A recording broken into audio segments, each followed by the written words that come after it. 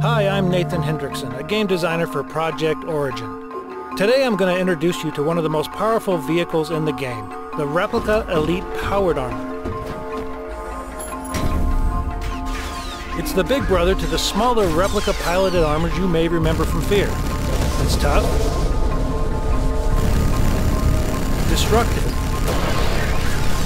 and virtually unstoppable.